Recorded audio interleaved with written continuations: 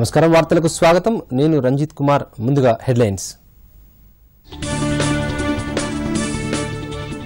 Parliament వ్యవహారాల మంత్రి అధ్యక్షతన కొనసాగుతున్న అఖిలపక్ష భేటీ. రేపటి నుంచి జరిగే పార్లమెంటు సమావేశాల నిర్వహణపై విస్తృత చర్చ. నలభై నాలుగవ రోజు కొనసాగుతున్న ఆర్టీసీ సమ్మె. నాచారంలో మందకృష్ణ అరెస్ట్. రెండో రోజు కొనసాగుతున్న అశ్వత్థామరెడ్డి దీక్ష. జీఎస్టీని మరింత సరళతరం చేసేందుకు కేంద్రం కసరత్తు. వసూళ్ళు చెల్లింపుల విషయంలో మార్పులు. చంద్రయాన్ టూ విఫలం కావడానికి గల కారణాల అన్వేషణలో ఇస్రో పురోగతి. సాఫ్ట్వేర్ సమస్యతోనే విక్రమ్ ల్యాండర్ విఫలమైందని స్పేస్ కమిషన్కు నివేదిక. రాష్ట్రంలో రోజురోజుకు పెరుగుతున్న చలి తీవ్రత ఈశాన్య దిశ నుంచి వీస్తున్న చలిగాలులు. ఇక వార్తల వివరాలు చూస్తే రేపటి నుంచి పార్లమెంటు శీతాకాల సమావేశాలు ప్రారంభం కానున్న నేపథ్యంలో పార్లమెంటరీ వ్యవహారాల మంత్రి ప్రహ్లాద్ జోషి ఏర్పాటు చేసిన అఖిలపక్ష సమావేశం పార్లమెంట్ లైబ్రరీ బిల్డింగ్లో కొనసాగుతోంది. సోమవారం నుంచి మొదలయ్యే పార్లమెంట్ శీతాకాల సమావేశాలు సజావుగా సాగేందుకు సభ్యులంతా సహకరించాలని కోరేందుకు ఈ అఖిలపక్ష సమావేశాన్ని జోషి నిర్వహిస్తున్నారు.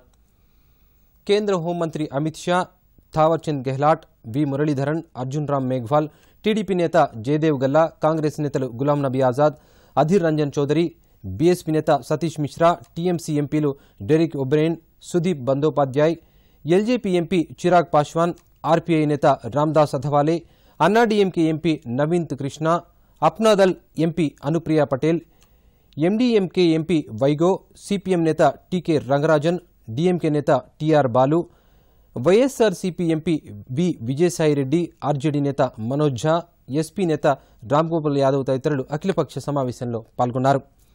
లోక్సభ స్పీకర్ ఓం బిర్లా సైతం నిన్న సాయంత్రం అఖిలపక్ష సమావేశం ఏర్పాటు చేసి సభ్యులంతా సభా కార్యక్రమాలు సజావుగా సాగేందుకు సహకరించాలని కోరారు. డిసెంబర్ పదమూడు వరకు పార్లమెంట్ శీతాకాల సమావేశాలు జరగనున్నాయి. ఆర్టీసీ కార్మికుల సమ్మె నలభై నాలుగవ రోజు కొనసాగుతోంది.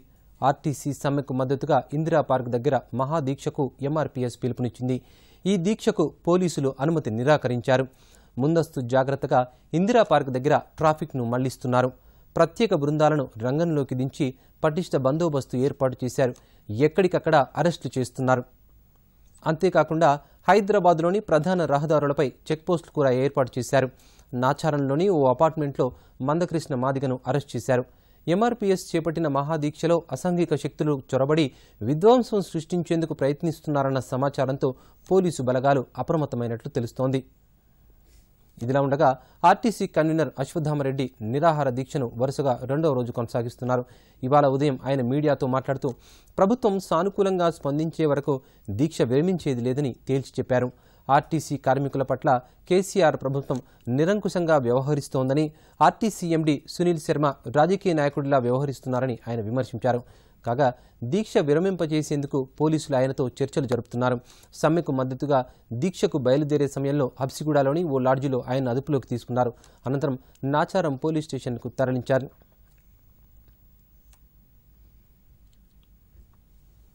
దేశంలోని ప్రసిద్ధ పుణ్యక్షేత్రాల్లో ఒకటైన కేరళలోని శబరిమల ఆలయం నిన్న సాయంత్రం తెరుచుకుంది. దాదాపు రెండు నెలల పాటు భక్తులకు అయ్యప్ప దర్శనం కల్పించనున్నారు. ఆలయంలోకి మహిళల ప్రవేశంపై వివాదం కొనసాగుతున్న నేపథ్యంలో కొండపై భద్రతను పెంచారు. దాదాపు పదివేల మంది పోలీసులతో భద్రత కల్పించారు. అడుగడుగునా తనిఖీలు నిర్వహిస్తున్నారు. ముఖ్యంగా మహిళలను వయసు నిర్ధారించుకున్న తర్వాతే అనుమతిస్తున్నారు. పది నుంచి యాభై ఏండ్ల మధ్య వయసున్న మహిళలకు రావద్దని కేరళ ప్రభుత్వం విజ్ఞప్తి చేసింది. ప్రచారం కోసం వచ్చే మహిళలను ఎట్టి పరిస్థితుల్లోనూ ఆలయంలోకి అనుమతించేది లేదని కేరళ మంత్రి సురేంద్రన్ ప్రకటించారు. పది నుంచి యాభై ఏళ్ళ మధ్య వయసున్న మహిళల్లో ఆలయంలోకి వెళ్ళాలనుకునేవారు న్యాయస్థానం నుంచి అనుమతి ఉత్తర్వులు తెచ్చుకోవాలని స్పష్టం చేశారు. కాగా ఆలయంలోకి అన్ని వయసుల మహిళలు వెళ్ళొచ్చంటూ గత ఏడాది సెప్టెంబర్లో సుప్రీంకోర్టు ఇచ్చిన తీర్పుతో శబరిమలలో ఉద్రిక్త పరిస్థితులు తలెత్తిన సంగతి తెలిసిందే.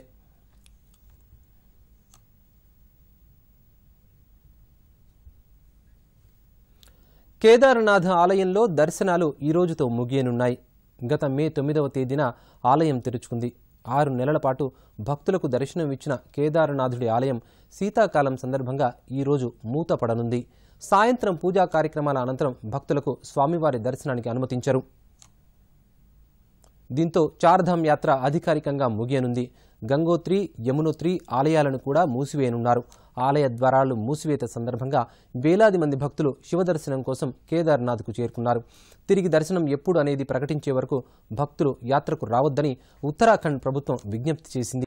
బద్రీనాథ్ ఆలయం దర్శనాలు కూడా నేటితో ముగియనున్నాయి. జీఎస్టీని కేంద్రం మరింత సరళతరం చేసే అవకాశం ఉంది. నిన్న పలువురు చిన్న పెద్ద తరహా వ్యాపారులు వ్యాపార సంఘాల ప్రతినిధులు కేంద్ర మంత్రి నిర్మలా సీతారామన్తో భేటీ అయ్యారు. ఈ సందర్భంగా వారు జీఎస్టీలో ఇబ్బందులను ఆమెకు తెలియజేశారు. ఈ సందర్భంగా వారు జీఎస్టీ రిటర్న్లను ఆన్లైన్లో ఫైల్ చేసి తలెత్తుతున్న ఇబ్బందులను కూడా కేంద్ర మంత్రి దృష్టికి తీసుకొచ్చారు. ఈ సందర్భంగా ఇండియన్ చార్టెడ్ అకౌంటెంట్స్ అసోసియేషన్ ప్రతినిధులు Laghu Udyog Bharat Rajasthan tax consultants association confederation of all India traders Kolkata నుంచి వచ్చిన పన్ను నిపుణులతో నిర్మలా సీతారామన్ భేటీ అయ్యారు. జీఎస్టీ నెట్వర్క్ అధికారులు రెవెన్యూ డిపార్ట్మెంట్ అధికారులు దీనిలో పాల్గొన్నారు. జీఎస్టీ ఫైలింగ్ విధానాన్ని మరింత సరళతరం చేయడమే ఈ కసరత్తు లక్ష్యమని కేంద్ర మంత్రి ట్వీట్ చేశారు. బీజేపీ జాతీయ అధ్యక్షుడు కేంద్ర హోంమంత్రి అమిత్ షా ఈ నెల ఇరవై ఒకటి నుంచి జార్ఖండ్ అసెంబ్లీ ఎన్నికల ప్రచారానికి శ్రీకారం చుడుతున్నారు. ఐదు విడతలుగా జరగనున్న ఈ ఎన్నికల్లో భాగంగా బీజేపీ అధినాయకత్వం రాష్ట్ర వ్యాప్తంగా యాభైకి పైగా ర్యాలీలు బహిరంగ సభల్లో పాల్గొనేందుకు నిర్ణయించగా అమిత్ షా ఇరవై బహిరంగ సభలు సమావేశాల్లో పాల్గొంటారని పార్టీ వర్గాలు తెలిపాయి. మహారాష్ట్ర హర్యానా అసెంబ్లీ ఎన్నికల్లో అంచనాలకు అనుగుణంగా ఫలితాలు రాలేదన్న అభిప్రాయంతో ఉన్న బీజేపీ అధినాయకత్వం ఈసారి జార్ఖండ్ ఎన్నికల్లో సత్తా చాటాలని పట్టుదలగా ఉందని చెబుతున్నారు. కాగా ఈ నెల ఇరవై ఒకటి ఇరవై ఐదు డిసెంబర్ ఐదు తొమ్మిది పద్నాలుగు పదిహేడు తేదీల్లో అమిత్ షా జార్ఖండ్లో విస్తృత ప్రచారం సాగించనున్నారు. రోజుకు రెండు నుంచి మూడు బహిరంగ సభలు ర్యాలీల్లో పాల్గొంటారు. ప్రధాని నరేంద్ర మోదీ సైతం రాష్ట్రంలో ఎనిమిది ర్యాలీల్లో ప్రసంగించనున్నారు. నవంబర్ ఇరవై ఆరు ఇరవై ఏడు డిసెంబర్ మూడు నాలుగు పన్నెండు పదమూడు పదహారు పదిహేడు తేదీల్లో ఆయన పలు ర్యాలీల్లో పాల్గొంటారని సమయాభావాన్ని బట్టి తేదీలు మారే అవకాశాలు కూడా లేకపోలేదని పార్టీ సీనియర్ నేత ఒకరు తెలిపారు. కేంద్ర రక్షణ శాఖ మంత్రి రాజ్నాథ్ సింగ్ బీజేపీ కార్యనిర్వాహక అధ్యక్షుడు జేపీ నడ్డా పలువురు కేంద్ర మంత్రులు సీనియర్ నేతలు కూడా ఎన్నికల ప్రచారంలో పాల్గొంటారు. సంక్షిప్త వార్తల సమాహారం ర్యాపిడ్ని చూద్దాం.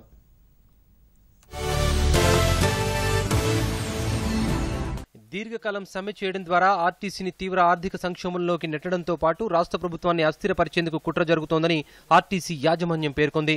కొందరు రాజకీయ నాయకులు కార్మికులను తప్పుదోవ పట్టించి సమ్మెకు ప్రేరేపించారని యూనియన్ల నాయకులు తమ స్వప్రయోజనాల కోసం ఆర్టీసీ సమ్మెను సాధనగా వాడుకుంటున్నారని హైకోర్టులో ఆక్షేపించింది. ఆర్టీసీ యాజమాన్యం ఆరోపణలను ఆర్టీసీ జేఏసీ నేతలు తోసిపుచ్చారు. హైకోర్టులో రాజకీయ అఫిడవిట్ దాఖలు చేశారని విమర్శించారు. సమ్మె కొనసాగుతుందని స్పష్టం చేశారు. రాష్ట్ర రైతు సమన్వయ సమితి చైర్మన్గా శాసనమండలి సభ్యుడు టీఆర్ఎస్ పార్టీ రాష్ట్ర ప్రధాన కార్యదర్శి పల్లా రాజేశ్వరరెడ్డిని నియమించాలని సీఎం కేసీఆర్ నిర్ణయించారు. ఈ మేరకు నియామక ప్రక్రియను చేపట్టాలని అధికారులను ఆదేశించారు. హైదరాబాద్ నగర సుందరీకరణకు విఘాతం కలిగించే అంశాలపై జీహెచ్ఎంసీ కఠినంగా వ్యవహరించనుంది. అనధికారికంగా ఏర్పాటు చేసే ఫ్లెక్సీలు బ్యానర్లపై భారీ జరిమానాలు విధించాలని నిర్ణయించింది. అనుమతి లేని ఒక్కో బ్యానర్ ఫ్లెక్సీకి ఐదు వేలు వాల్ పోస్టర్కు రెండు వేలు దుకాణాల ముందు చెత్తను వేస్తే వెయ్యి రూపాయల ఫైన్ వేయాలని నగర సమన్వయ సమావేశంలో నిర్ణయించారు. రేపటి నుంచి ప్రారంభం కానున్న పార్లమెంట్ శీతాకాల సమావేశాలు సజావుగా జరిగేందుకు సహకరించాలని లోక్సభ స్పీకర్ ఓం బిర్లా సభ్యులకు పిలుపునిచ్చారు. నిన్న జరిగిన అఖిలపక్ష భేటీలో ఈ మేరకు ఆయన సభ్యులను కోరారు. ప్రధాని మోదీ కూడా ఈ భేటీలో పాల్గొన్నారు.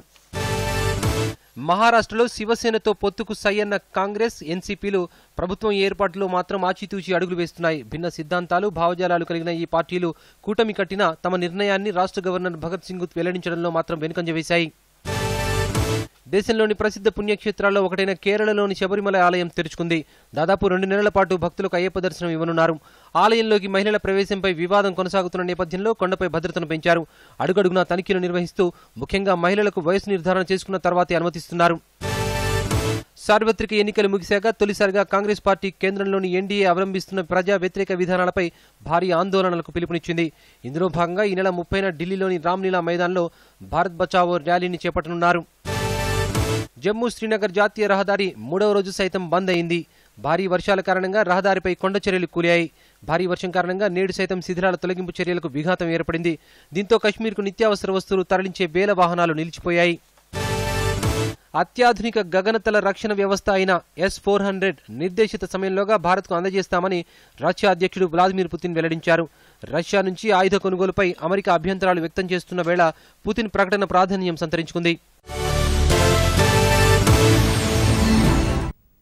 చంద్రుడికి అత్యంత సమీపంలోకి వెళ్ళిన విక్రమ్ ల్యాండర్ చివరి నిమిషంలో విఫలం కావడానికి గల కారణాలను అన్వేషణలో ఇస్రో పురోగతి సాధించింది. సాఫ్ట్వేర్ సమస్యతోనే విక్రమ్ ల్యాండింగ్ విఫలమైందని అంతర్గత నివేదికను స్పేస్ కమిషన్కు అందజేసింది. చంద్రుడిపై సాఫ్ట్ ల్యాండింగ్ అయ్యేలా చంద్రయాన్ టూను డిజైన్ చేశారు. కానీ చంద్రుడి ఉపరితలానికి దాదాపు ఐదు వందల మీటర్ల సమీపం వరకు వెళ్ళి కూలిపోయింది.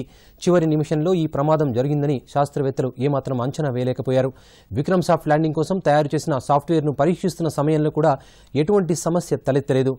వాస్తవానికి విక్రమ్ ల్యాండర్ ఆర్బిటర్ నుంచి విడిపోయి దాదాపు ముప్పై కిలోమీటర్లు సురక్షితంగా ప్రయాణించింది. రఫ్ బ్రేకింగ్ దశ నుంచి ఫైన్ బ్రేకింగ్ దశకు వచ్చినప్పుడు సమస్య మొదలైంది. దీనికి అమర్చిన థ్రస్ట్లో ఒక దానిని మండించి సెకన్కు నూట నలభై ఆరు మీటర్లు ప్రయాణించేలా నియంత్రించే క్రమంలో అదుపు తప్పింది. ఫలితంగా సెకన్కు ఏడు వందల యాభై మీటర్ల వేగంతో చంద్రుడిని ఢీకొంది. ఫలితంగా విక్రమ్ ల్యాండర్ రోవర్ దెబ్బతిన్నాయి. ఈ వైఫల్యంపై liquid propulsion system centre director V Narayana నేతృత్వంలోని అంతర్గత కమిటీ అధ్యయనం చేసింది. ఈ కమిటీకి నాసా నుంచి కొంత సమాచారం లభించింది. వీటిపై చేసిన అధ్యయనం సాయంతో వచ్చే ఏడాది నవంబర్లో జరగబోయే చంద్రయాన్ త్రీకి సన్నద్దమవుతారు భూతలం నుంచి భూతలంలో ఉన్న లక్ష్యాలను ఛేదించే ఇంటర్మీడియట్ రేంజ్ బాలిస్టిక్ క్షిపణి అగ్ని టూకు మొదటిసారి రాత్రిపూట నిర్వహించిన పరీక్ష విజయవంతమైంది. ఒడిశా తీరంలోని డాక్టర్ అబ్దుల్ కలాం ద్వీపంలోని ఇంటిగ్రేటెడ్ టెస్ట్ రేంజ్ కాంప్లెక్స్ నాలుగు నుంచి దీన్ని పరీక్షించామని రక్షణ శాఖ వెల్లడించింది. ఈ క్షిపణికి రెండు వేల కిలోమీటర్ల దూరంలోని లక్ష్యాలను ఛేదించగల సామర్థ్యం ఉంది. దాదాపు ఇరవై మీటర్ల పొడవున్న ఈ క్షిపణి బరువు సుమారు పదిహేడు టన్నులు. మరో వెయ్యి కేజీల పేలోడ్ను ఇది మోసుకెళ్ళగలదు. అగ్ని టూ క్షిపణిని మొదటిసారి పంతొమ్మిది వందల తొంభై తొమ్మిది ఏప్రిల్ పదకొండున పరీక్షించారు. చివరిసారిగా రెండు వేల పద్దెనిమిది ఫిబ్రవరి ఇరవైన పరీక్షించిన ఈ క్షిపణి ఇప్పటికే సైన్యం అమ్ముల పొదిలో చేరింది. మహారాష్ట్రలో ప్రస్తుత రాజకీయ పరిస్థితిని సమీక్షించేందుకు ఎన్సీపీ కోర్ కమిటీ పూణేలో సమావేశమవుతోంది. ఎన్సీపీ చీఫ్ శరద్ పవార్ సమక్షంలో ఇవాళ సాయంత్రం నాలుగు గంటలకు ఈ సమావేశం జరగనుందని ఆ పార్టీ ప్రతినిధి నవాబ్ మాలిక్ తెలిపారు. రేపు కాంగ్రెస్ చీఫ్ సోనియా గాంధీతో పవార్ కీలక సమావేశం ఉన్నందున కోర్ కమిటీ సమావేశానంతరం పవార్ ఢిల్లీకి బయలుదేరి వెళ్తారు. శివసేన నాయకత్వంలో బీజేపీయేతర ప్రభుత్వం ఏర్పాటు సాధ్యాసాధ్యాలపై ఉభయలు సమావేశమై ఒక నిర్ణయానికి వస్తారని ఎన్సీపీ కాంగ్రెస్ పార్టీ వర్గాలు తెలిపాయి. కేంద్ర ప్రభుత్వ ప్రజా వ్యతిరేక విధానాలకు వ్యతిరేకంగా కాంగ్రెస్ పార్టీ ఆందోళనకు సిద్ధమైంది. దేశవ్యాప్తంగా నిరసనలు చేపట్టాలని అధిష్టానం పార్టీ శ్రేణులకు పిలుపునిచ్చింది. నవంబర్ ముప్పైన భారత్ బచావో పేరిట ఢిల్లీలో భారీ ఆందోళన కార్యక్రమం నిర్వహించాలని నిర్ణయించారు. ఈ మేరకు కాంగ్రెస్ వార్ రూంలో నిర్వహించిన సమావేశంలో ఆ పార్టీ అధిష్టానం నిర్ణయం తీసుకుంది. దేశ ఆర్థిక పరిస్థితి క్షీణిస్తోందని నిరుద్యోగం పెరుగుతోందని వీటిపై ప్రజలకు భాజపా సమాధానం చెప్పకుండా దేశ ప్రజలను పక్కదారి పట్టిస్తోందని కాంగ్రెస్ పార్టీ ఆరోపించింది. ఢిల్లీ కంటే ముందు స్థానిక స్థాయిలో ఆందోళనలు చేయాలని పార్టీ అధిష్టానం పిలుపునిచ్చింది.